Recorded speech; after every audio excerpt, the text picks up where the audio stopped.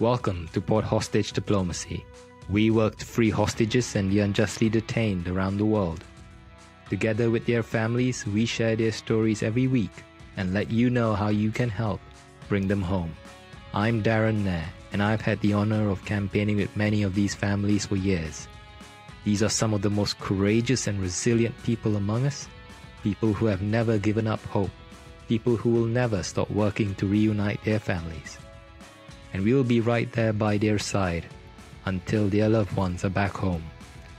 Thank you for joining us. And now, let's meet this week's guest.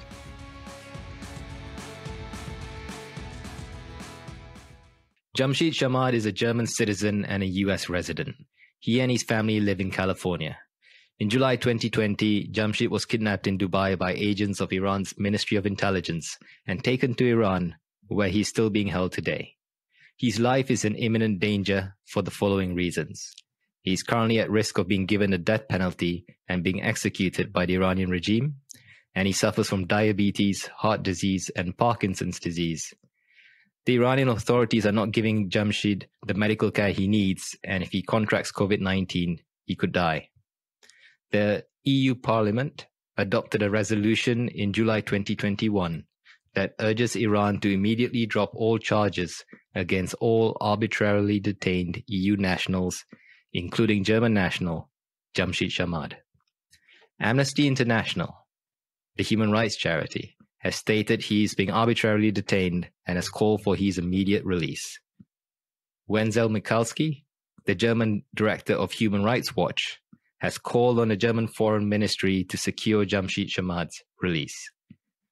Iran has a long history of unjustly detaining foreign nationals and dual nationals.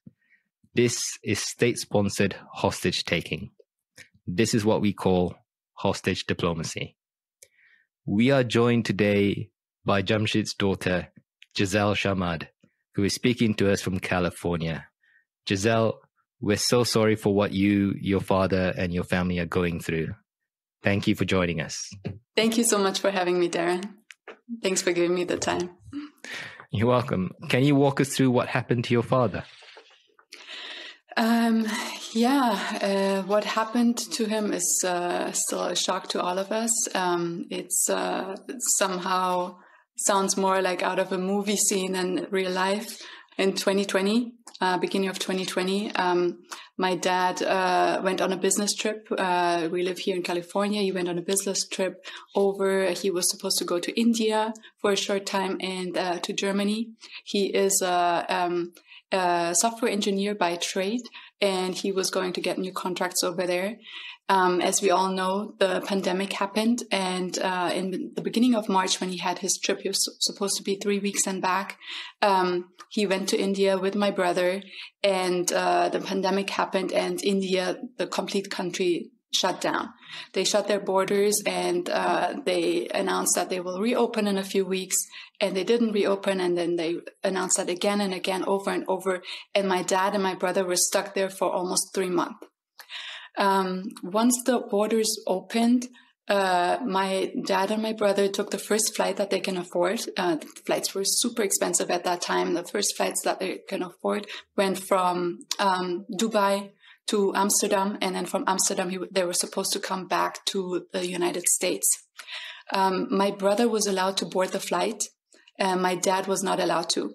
The reason is that my brother is a permanent resident of the United States and my, my dad lived here on a visa.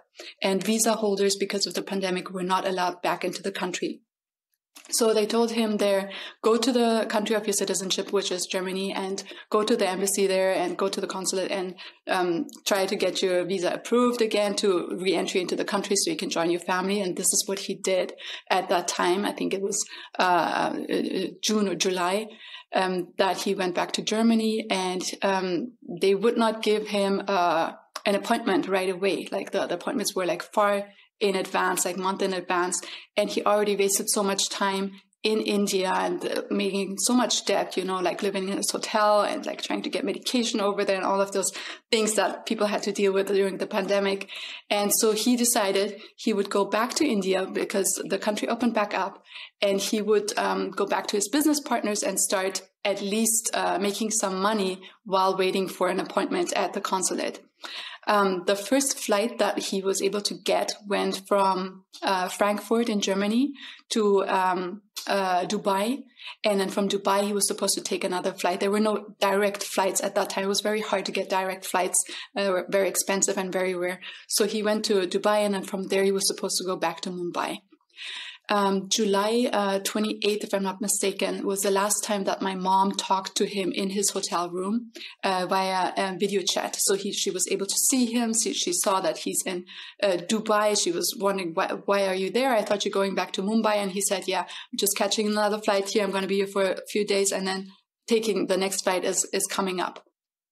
That was the last time she saw him and she knew she was, he was well um, they have been talking every single day, either through video chat or through uh, text messages or calls uh, through the time that he was uh, um, there in the pandemic.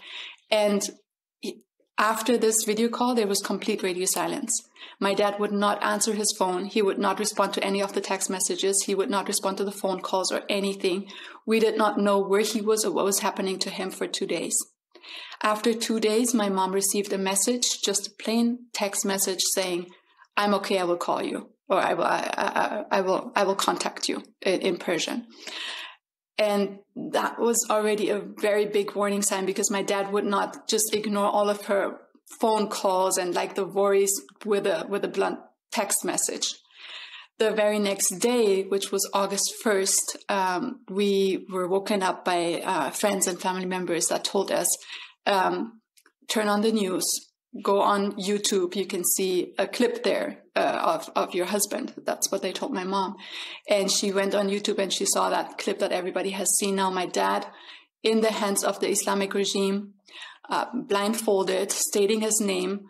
Uh, forced to commit to crimes that he did not commit, uh, that he did not do, and that's how we found out where he apparently was, that he had been kidnapped, that he had been somehow taken to Iran, which we assume, uh, still nobody has explained that to us, but that's what, when we found out.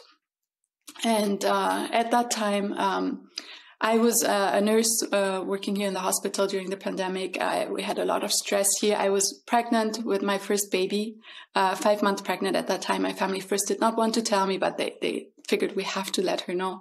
So the shock of seeing my dad there, I will never forget that. We, we thought that my dad was, uh, dead at that moment when we saw this video because it looked like one of those videos that the Hezbollah shows before they do a beheading or something. It looked very like, like, like a death sentence pretty much. And um, uh, I'll, I'll, explain that a little bit later. And the backstory of my dad is also that the Islamic regime tried in the last 10 years to assassinate him several times. And so when we saw this video, we were 99% sure that this was the last time we would see my dad. This was not the, the this was the end of it. He, they had him, they showed him on TV, and now he was dead somewhere. And we cried and we cried, and then we got ourselves together and we thought, okay, we have to do something now. We, we can't just sit here and wait. And nobody was explaining anything to us. Like, There's no way that you can contact the Islamic regime and ask if your loved one is there, if he was taken. Like not nothing. We we not we knew nothing, but that he was in uh, Dubai in his hotel room, and then the radio silence, and then all of a sudden he was on TV with that video. So we assumed he's in Iran and we contacted the, the German embassy because he's a German national. We're all German nationals.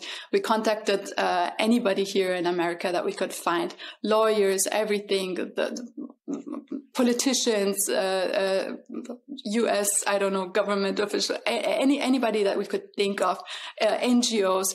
Um, uh, I, I, opened my first Twitter account at that time. I didn't have a Twitter account and started just blurting stuff out like, hey, this is what happened to my dad. We need help. We don't know what's going on. And uh, that's how it started. And um, now it has been over 500 days that he has been kept there as a hostage. Uh, he has been in um, horrible condition because first of all he is uh, isolated he is not in the prison with other people. Every time he is allowed to call, um, he tells us there's nobody there. He's by himself. So that's that's isolation for 500 plus days. Um, he is, of course, sick. He had severe Parkinson. That's why my brother went with him. Like he's very, very sick. He needs his medication on time every three hours. I don't know if they're providing him his medication. He gets uh, very bad pains in his body when he doesn't get it on time. I don't know if they're providing him any food. I don't know if he has access to outside if he can see anybody, if he can see doctors. Um, he does not get access to a lawyer.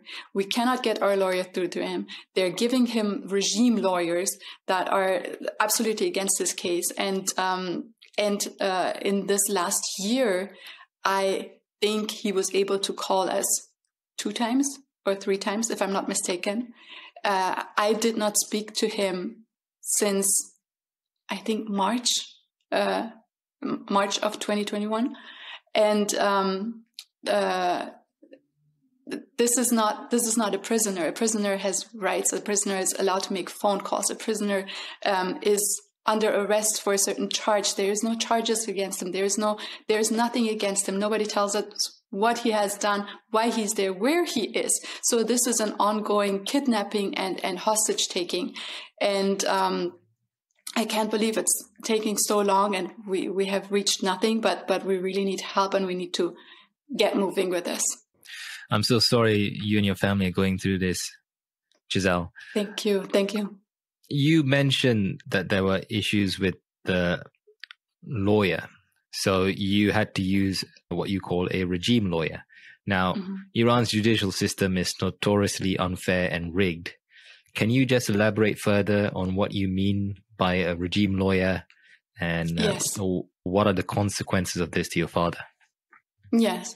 Um, this was this was news to us too. I mean, like we we heard, of course. Uh, I, I didn't grow up in, in, in, Iran, but we heard that the um, judicial system was uh, was rigged, and you have some understanding of it. But once you're in it and you need to get through it, you just see how messed up the system is. So um, first thing that we tried to do was get a lawyer, any kind of lawyer, on his case. Um, we asked the German embassy; they gave us a list of lawyers that they worked with before and that they thought we could contact. Uh, we started contacting them, and 99% of them said they cannot take his case because it's a danger to them. So you have to imagine a country where you as a lawyer, you cannot represent anybody because if the regime doesn't like your client that you're representing, they're going to put you into prison. They're going to charge you. They're going to uh, uh, um, uh, maybe assassinate you. They're going to do something to you personally. So you cannot take a case because you're afraid for your life. So that was the first thing that we were like, okay. And then um, uh, the ones that were willing to take his case or, or, were brave enough to take his case or were strong enough to take his case said um, we're not allowed on his on his case. We didn't understand that. And then one of the lawyers uh, sp- uh, spelled it out for me and said there is a list of uh, lawyers that are working with the government. I call them regime lawyers. And they are only approved to take certain cases which are called security cases. And my dad falls into a security case and uh, those those lawyers work with the government, the government that that took my dad, and those are the only p- people who can represent him. So, you know, that is no representation. Um, we said we don't want any of those. We we finally got a lawyer that would take his case, and we we sent her to the prison. Um, she was told the first time that he is not there uh, Jamshid Sharmahd doesn't exist in this prison. Uh, she went to, right to Evin prison where most of the political prisoners are um, kept. Uh, the next time she was told he is there, but she doesn't have access. Then they told her again he's not there. He's in a different prison. He's not even in Iran. They kept changing the story and not getting her any access in one of the few phone calls that my dad was allowed, he told us that they put a lawyer on his case. That uh, lawyer was Dabir Daryabegi, a regime lawyer, which was also the regime lawyer that um, defended Ruhollah Azzam. Uh, by defended, I mean he got him the death sentence and he was executed a few months after my dad was taken. So we did not want this guy on this case. We talked to my dad. We told him what happened to Ruhollah Azzam and he said, I don't want this guy. Thankfully, that guy was taken off the case. The next regime lawyer that they put on the case, his name was um, Reza Dorzizadeh. And uh, again, we said we don't want we don't want a regime lawyer on that case. The only thing that they do is they work with the regime together to get you to um, sign away your life, like admit to any kinds of crimes, and they, they tell you that they're going to make a deal. They're to they know the the um, the judge. They're going to get you out of here. They're going to get you a better sentence if you just commit to these crimes or if you just go on this show. And they, they made some shows with him where he's where he's standing there and he's he's uh, admitting to crimes and and all that kind of propaganda that is involved in that. And, and uh, as a reward, they give you a, a, good deal, which is usually not a good deal, just a way to, to get you to the death sentence. So again, we explained that to my dad and my dad said, take him off the case. And we tried to take him off the case, but this guy does not want to get off the case. In fact, um, my dad would not call us for i think three months. And in the last phone call that we had when the uh, regime lawyer was on the case he had a very heavy cough. So we were very worried that he might have gotten covid in, in, in this time. And he would not call us. My mom was very worried. So she called this regime lawyer and she told him are you are you able to see my husband? Do you know where he is? Is he alive? Can you get access to him and can you make him call us? And he said yes and sure enough, my dad called and he was okay and he, he did not have COVID and he sounded a bit better. My mom called this lawyer again uh, just to thank him, like, thank you for, for going there and making him call us. And that's when he told her, well, um, by the way, I'm his lawyer. I'm on his case. And, um, his case is very long. It's 10 files long. And my mom asked him, what are the charges? And he said, well, I can't tell you. I haven't looked through it. And she said, why haven't you looked at it? Well, it's, it's, it's too big of a case. All I can do is stand next to him in court and try to defend him. But if you want me to spend any more time and go through his case and really build a defense, I need a, ta- I need a team and I need $250,000 from you to do that. So $250,000. We don't make that much in a year. I don't, I know surgeons that don't make that much in a year in America. And this guy wanted that just to do his job, which we don't even want him to do. We didn't even want him on the case. The regime put him on the case. My dad doesn't want him on the case. And now that he is on the case and he claims to be the only person having access to him and being able um, to, to get him to call us, he wanted $250,000 from us just to do his job, just to look through his file, just to build a defense. So I don't know if you can see, but this system is more than messed up. This system is, there, there is no justice in it. There, the, the, it's not a justice system. It's a, it's a joke to call this a justice system. It's just a facade. It's just something that they put up there. The only hope that we have and why we're even talking to this lawyer is they told us in the trial phase, when this goes to trial, uh, the regime has to allow any lawyer on the case. So if we can get these lawyers off the case and my dad makes it to the trial, we can get an independent lawyer on the case who can go and see him. And that's the only thing we want, somebody to go and see him. He doesn't need even a defense. We haven't seen our dad for since 2000 since the beginning of 2000. We want somebody to go there and see him and physically check him and see if he's okay, if, if he's been tortured, where in the world he is, which uh, facility he's at. So that's why we want a, a lawyer there, not even to do any justice, not even to defend him, just to go and physically see him. Sorry, you mentioned you haven't seen your dad since 2000. Which are you talking 2021, 2020? Uh, uh sorry, 2020. Yes, that's what I meant. 2020 when he first uh, when he first uh, went on the uh, his business trip to India. Okay, now I understand. Um, yeah. So to understand why this is happening to your father, can you talk to us a bit about your father's background? Because I know that your family fled Iran in 1983 and migrated to Germany in 2003, your family moved to California, which is where you live now. Yes. As you said earlier, there was an assassination attempt. So I read this from your website, freesharmahd.org. In 2009, there was an assassination attempt on your father. And according to the information on that website, the assassin got cold feet and turned himself in.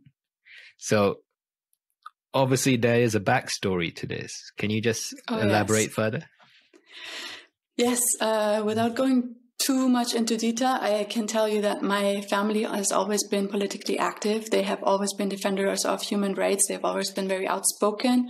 And um, when I was born, um, uh, after the revolution, um, they decided to put that on hold for a while because they had a family now. And because as you know um, it is dangerous as parents to be politically active uh, iranian uh, uh, being politically active whether you're inside the country or outside the country. There have been assassinations from the regime all over europe. And um, they decided while their children grow up they're going to be just parents stay out of politics as much as they can and raise us safely, which they did. Um, by the time we were in our teens and 20s, um, my dad decided to move to America. And uh, when he came over here, we were uh, having a, a, normal life in the beginning. And then he started to be interested in politics again because he just put that on hold for some time while his children were growing up. The community here in LA, the Persian community is really big. There are like lots of TV stations, a lot of politically active people here. And he looked at everything and, and he found a group that he was very interested in. The, um, uh, it was through the Fouladvand back then with uh, the, um, it's called Anjuman Padishahī, which is the Kingdom Assembly of Iran. So he was following them. They had a TV station. He was listening to to them and he got very interested. Since by trade he is a software engineer, he offered them to um, create a website for them. And all of their material that they were publishing on TV, um, he was able to put it on the website and like pretty much have an archive of everything over there. And that's how it started uh, for him. The um, founder of this group uh, disappeared in the early 2000s. Um, we assume that he was taken hostage. He was kidnapped somehow. Um, I don't want to go too much into detail because nothing is clear about that case either. Um, my dad, uh, having that website built for them, um, was at that time still anonymous. Uh, nobody knew that it was my dad. Uh, he built the website. He put it on his portal. He put it on his um, server. Uh, we don't know if it was a security glitch back then or if it was cyber attacked or something, but uh, the name of the server got exposed, and the name of the server is my dad's company, Sharmahd Computing. So therefore, his name Sharmahd was exposed, and my dad was no longer anonymous and anonymously um, political. Um, at that time, we were in big, big shock because me and my mom were actually about to go to, to Iran, to travel to Iran and see some of her family members over there we knew that we were in great danger. The regime announced on national TV that my dad and this group is an enemy of the state and they're the number one enemy. And they asked America for his extradition. And we knew we could no longer go to Iran and visit our family. We knew we were in danger over here and my dad knew that. But, um, I don't know if you knew my dad, he always got into when he got into really bad situations, he would try to turn it to the best. Like instead of like being desperate and what we did and we were crying about not seeing our family, he said, well, now that I'm exposed, I might as well use my face to help these people. So he went public and he opened a, um, a satellite uh, radio station, Tondar, um, Radio Tondar. He was speaking on that radio station on behalf of this group. He was publishing news. He was putting like all of their stuff on there, uncensored. Nothing was censored. Everything straight out of Iran from political active groups in Iran coming in there. And that was a big, big thorn in the eyes of the regime because political activists inside of Iran cannot show their face they cannot say what they're doing. They cannot say who they are, who they're working with, what they want to accomplish, what their goals are. Nothing of that. Even, even being associated in some way with a political group in Iran means a death sentence for you. So people in Iran who are politically active need an outlet outside of the country. That's where all of those dissidents uh, come into play that are in America or in Europe and are, that are helping. And my dad provided this portal for them. Since that time that he became public, Till now, we have been under attack, whether it be cyber attack, whether it be threat calls, whether um, uh, uh, people trying to lure him out of the country for reasons, um, people trying to meet him inside the country, um, pretending to be part of uh, of the dissident group, um, and of course, like threats to our body, which was uh, several assassination attempts, but one of them went public. So this one I can talk about, which was in 2009, where the Islamic regime sent an assassin to Los Angeles to our house. Uh, he hired somebody here to um, make it look like an accident. Uh, they they had a truck. They were supposed to run over my dad. They also had guns in case they would miss or my dad would survive. They would kill him. But the plan was to run him over. Thankfully, that was caught in time by the FBI. And uh, they were exposed. Uh, the the person that was hired to run over the truck, he chickened out at the uh, last minute and went to the local police here. Uh, they already knew that guy, that um, Muhammad Reza um, uh, um, who who came from the regime. He brought the money. He he hired this person. He went uh, to trial. He went to jail here for a year until he um, was released uh, to Iran to see his uh, sick father, which we think was a, a, a swap, a prisoner swap at that time. So that that's that's what happened in 2009. Uh, after that, there were several other attempts and several other um, uh, places where they wanted to take my dad out, hijack the website, uh, try to find out who these political activists are inside of Iran, try to ident- identify them, um, make sure they're silenced, make sure nothing gets out, and of course to kill my dad. So that, in a nutshell, is the is the backstory that we have for the last 10 years at least of terror from the regime and now in, in this in this horrible pandemic where everybody is feared for their life because of a virus my dad was taken and and he's he's there now. So having your father being taken hostage by the regime and not being able to speak to him not knowing how he's doing right now whether he's getting the medical care he needs is obviously very traumatic to you and your family. So how have you and your mother and your brother been coping? Um we haven't been coping very well uh, to, t- to tell you the truth. Um I mean, uh, I, I don't know how to say it, but it our life is upside down. Our life is not the same. Um, I can't work at this time. I mean, I'm, I'm a first time mom, anyways. I'm, I'm with my child right now, um, but I'm in my head so much. Uh, I had severe and still have severe depression, uh, trauma from the time that this happened, of course, and and um, of course, that's all packed with postpartum depression and everything together, but to the point where where it's really not good and uh, seeking help right now. But um, I'm just a daughter. I mean, I can't imagine what's going on in the head of my mother. My mother and my father, they have been together for 40 years. And they've been inseparable. It's it's a deep love. It's a great relationship. They've been partners in everything that they do.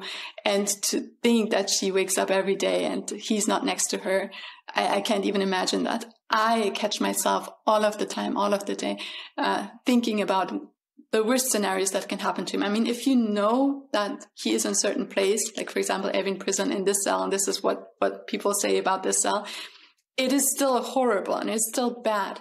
But not knowing where he is gives you all of these horrible ideas that you can just imagine yourself and it makes it worse. And not knowing how he's doing, when he's allowed to call, how they're torturing him. I mean, the psychological torture alone of not being able to talk to anybody, not to being able to see anybody for a month, for years, is is horrifying. We were on quarantine and we were all like suffering so much and being so depressed because we couldn't go out, you know, like and into the public.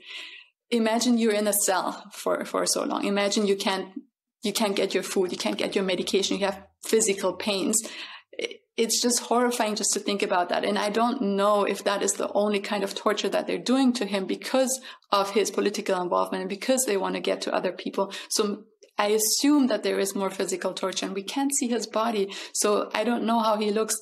I know in one of his phone calls that he said that he lost so much weight. I think it was uh, 40 pounds of weight. And my dad is, is six feet, uh, six two, six three or six two tall. And he weighs about 60 kilograms he said which is nothing. That's that's how much i weigh so he lost so much weight there. He has pains. He he in one of the phone calls he told us that his teeth has been pulled out. I don't know if they're doing dental procedures there if that's a form of torture, we, we, we can't understand, we can't pinpoint it, you know, it's just bits of information that are coming through in the phone calls that he's allowed.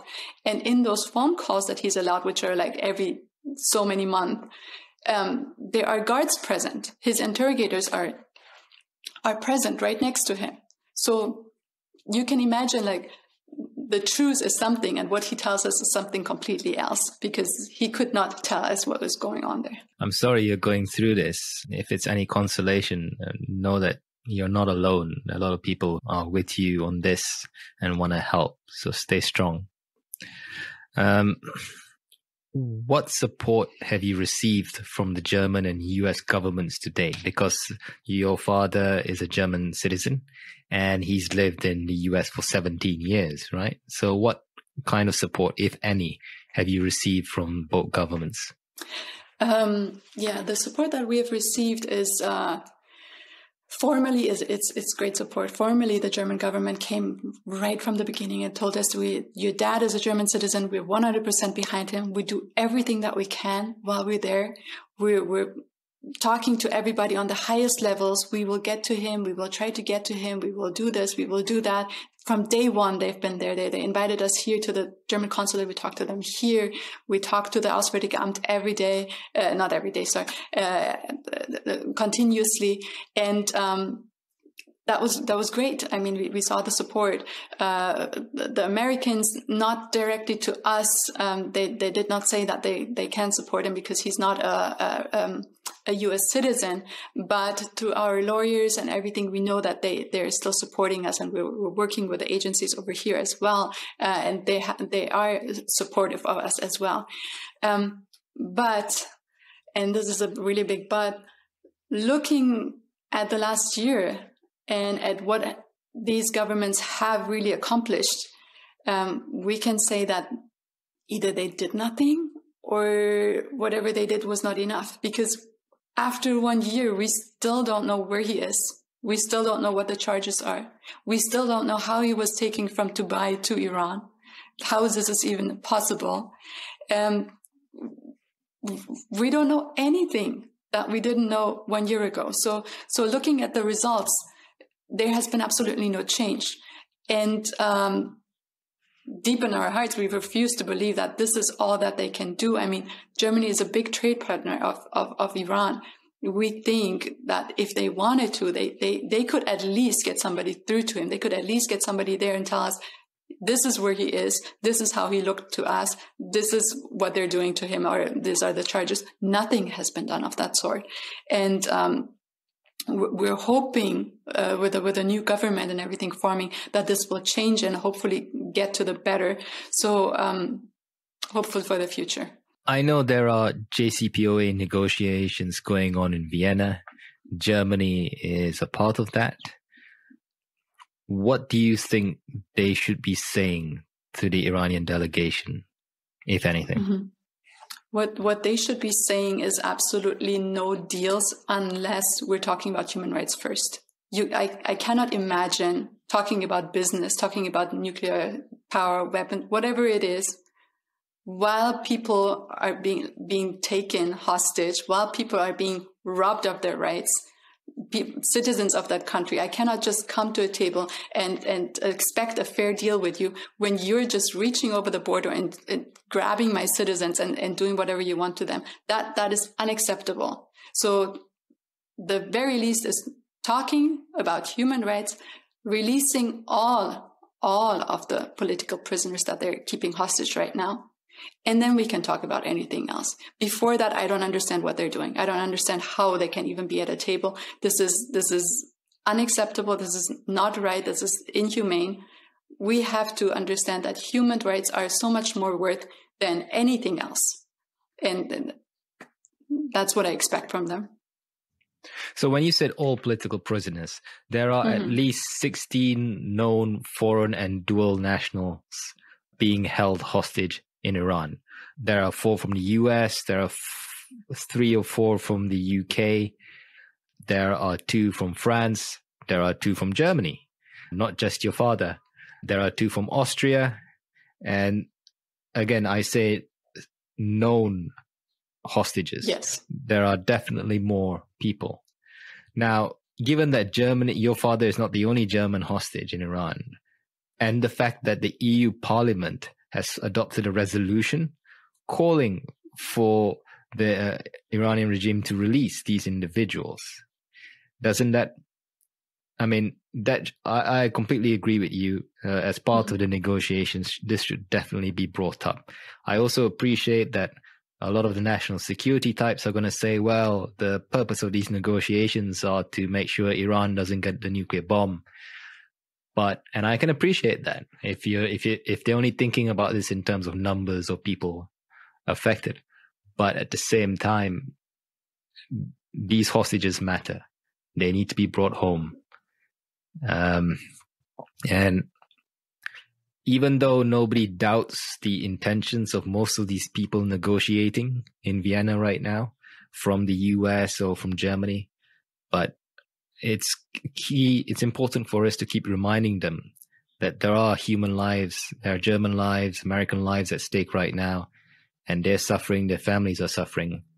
And as hard as it is, this, they need to be brought back home. They did it once before with Jason Rezaian during the first round of nuclear talks, they can do it again. So, what can journalists and news outlets do to help? Yeah, you're, you're absolutely right about what you just said. I mean, um, it's not just about my father. That's that's why I keep saying all of them have to come home. It's it's my father is due to me. Is not due to many other people. It is about the principle. It's about the principle of taking a human being and playing the, with his life and playing the, with his life as a, as a, as a political card. And um, of course, you're right. I mean, they're they're talking about nuclear, nuclear bombs, and they want don't want to have uh, to for them to have nuclear weapons, but um, we don't even have to go into nuclear weapons. I mean, if you are able to reach out into different countries and kidnap people, um, assassinate people there, that is already a violation of human rights. I mean, why would you expect somebody um, to to to follow uh, a, nuclear deal if they can't even stick to international law, if to human rights laws? I mean, that even if their interest is for them not to have nuclear weapons, they should put this first because that's the very first principle that people have to follow. International law. Don't break rules. Don't go into other borders and kidnap people. Don't, don't assassinate people in other countries. I mean, that, that, that should be number one. Once you can adhere to these normal rules, now we can talk about other stuff. That should be the number one. But what, what, um, your question was about media outlets and what people can do media and people have the biggest influence of this. I mean, every time when I post something on Twitter, people are telling me the government doesn't care about people. There's nothing we can do. Da da da da. I know that governments obviously do not care about all of those things, or seemingly do not place a, a, a lot of their value onto onto human rights laws and all of those things. But that's because of us. We we elect these people we elect these governments, at least in the free world, and they do what we want as, as a group, as people. And if, if we show them that human rights are important to us individually and as a group and as a society, then they have to act on that. If we show them that we don't care about human rights, why should they care in their negotiation? Then they will go and talk about business. So we first have to show we care about human rights by posting about this, by uh, uh, um, being engaged, going to your representatives, talking about this, um, liking, just just freaking liking a, a post about this, uh, coming forward, sharing these stories, uh, what what you are doing, for example, podcasts, all of those things to bring these stories out. Because I honestly I did not know, even though my dad was politically active, I did not know that hostage taking was a thing. I did I absolutely did not know that. And that is not because I didn't look for it. That is because it is so underexposed because be, really you have to be in that, in that scenario to, to look for it and know that this is going on. And, and we need people to pay attention to this and to spread this and being more engaged. And you don't know how much of an influence that makes. I mean, when the media picked up my father's case, when you back then were helping me and getting me to Amnesty International and Human Rights Watch and all of those things that you, thankfully you, you got me through because I couldn't get through to them. My dad was calling us almost every month. And now that it has almost like, ebbed off and then media is not picking up that much anymore and people are not that interested in it anymore because it's an old story, so to say. Um, he hasn't called for four months now. So you think you, you don't you don't make a change. You think simple people don't make a change. They make a huge change. I can see it in my dad. I can see that he is calling us and he is well, that he's been treated well, being allowed at least more phone calls or that he's not. And what you're doing by helping us, by bringing this story out, is securing his life. Every time this gets shared, every time this gets spoken about, you're making sure that my dad and other people that are kept there hostage are kept alive and hopefully kept well. And that is a huge power that you have in your hands that you don't even know about. So I'm thankful to everybody who shares that. I'm thankful to all of those people that reached out to me and are still reaching out to me and doing that because you have a tremendous power that politicians don't even have because we, we can make these changes together, but you have to start and you have to do these little changes and to help us. No, I absolutely agree with you. Um, as the saying goes, the most powerful office in government is the office of citizen. For members of the public in the US, um, what can they do? I mean, uh, what should they write to their local congressman, uh, their senator, or even to the White House? What should they say? Mm-hmm. Tell them how you feel about it. Tell tell them first of all your questions. How is this possible that people are kept hostage? How is this in the 21st century possible? What are you, as my representative, doing about this? How are you voting to to to prevent this, how are you getting these people back? If this happens to me or my loved one or my local news agent or, or, or human rights uh, person, how are you going to get this person back? What can we do? What can we change? They can, they don't have to come up with a solution. They can write them and ask these questions that we all have. What are you doing about it? What, why, why do you not do anything about it? And, um, that alone triggers people to react. I mean, just like posting questions on, on Twitter, I saw, I saw journalists posting questions over and over again to the press and the press started picking this up. And then when the press reacted, the government agencies reacted. So just whatever you feel in your heart, if you feel, hey, I don't feel secure, I feel totalitarian, uh, totalitarian regimes can come and rob us of our rights and I don't feel safe, post this Talk about that. As long as we're talking, as long as we have a dialogue, that's all I'm asking for. You, you don't have to say anything that you don't want to say. If you care about human rights, if you care about the principle that me and you can stand anywhere in the world and talk without being being shut down or, or, or robbed of our rights, speak up about this. That's all I want. On the point of writing to politicians, I saw your name in that letter that American families wrote with the help of the James W. Foley Legacy Foundation to President Biden. Could you just elaborate further on that letter and why you participated in that?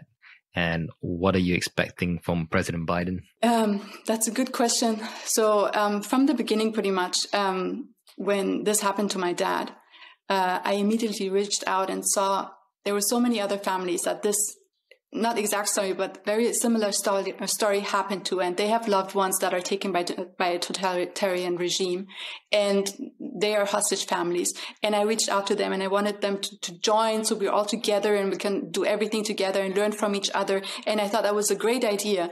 But talking to most of these families, I saw that most of them were terrified most of them did not want to respond. If they responded, they did not want to be part of a group or anything, or they, they, they were, they were afraid to do a lot of things. Even speaking out on, on social media was, was a big threat to them. And they're right to do so because it is terrifying. Iran puts threat on the on the family. You are terrified every time I'm talking in public, or I'm doing an interview, or I'm doing a podcast, or I'm putting up a tweet, or saying anything in public. I'm terrified for my life. I'm terrified for my mom, for my brother, for my daughter, for my husband. I'm terrified for anybody who's around me, and rightly so because they they put threats out, and they are terrifying, and they are threatening to harm you or your heart, your loved one over there. I'm not saying not to be afraid. I'm saying even though we all are so terrified, the only thing that we can do is to do the right thing as a group because that makes us stronger, because that gives us a, a voice all together. Instead of me trying to advocate for my dad and so and so advocating for their mom or, or brother or daughter or whatever, all together advocating for, for these hostages, we can have a bigger voice. And that's, that's, that's what I tried to do. And that's what I liked about the Foley Foundation and this letter, that we all came together as a group, as family members, and we have a bigger voice. So whether it's the, the President Biden or President Trump or any other president after that, we expect the same thing from them. We expect them to, to hear us out. We expect them to have decency and, and to advocate for human rights and to let us know what they're going to do to bring our loved ones back, how are they're going to do that, keep a dialogue open, and then act upon it. Show us what they have done. And I expect this from the Americans and I expect this from the German government as well. Support your people, support you, support us, we have been victimized. We are victims too of a crime. We are suffering here too as the families, not just our loved ones over there, obviously robbed of all of their rights.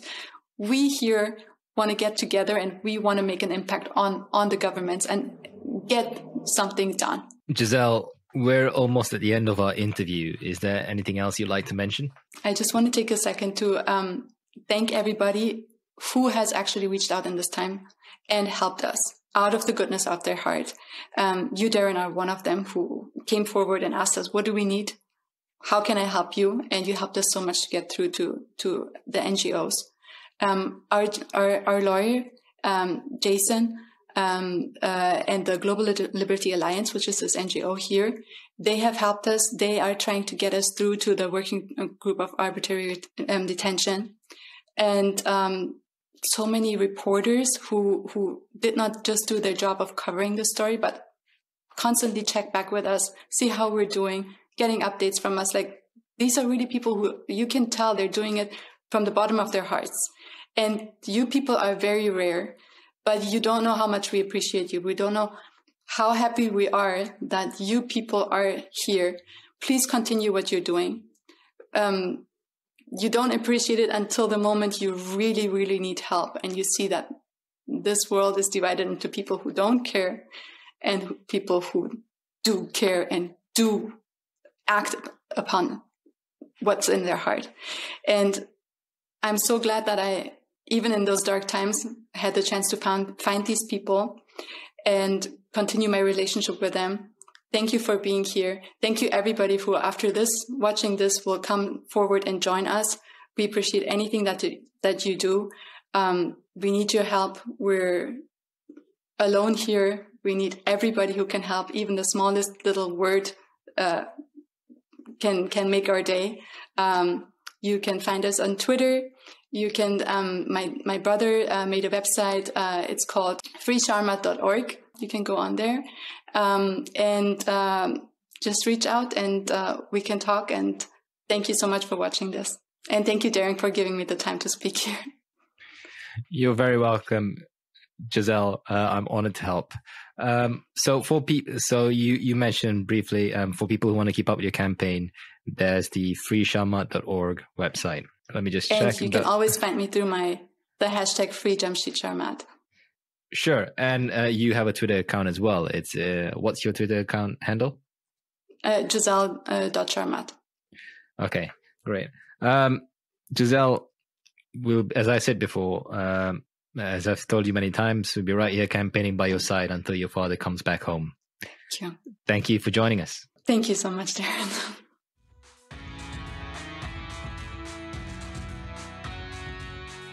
Thank you for listening to this week's episode of Pod Hostage Diplomacy.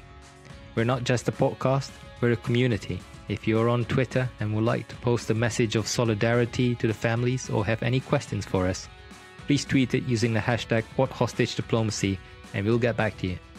If you like what we're trying to do, please do consider supporting the show financially. You can do this using the support the show link in the description of this podcast episode. We're grateful for any contributions, no matter how small. Thanks again for listening, and we'll be back next week. Take care.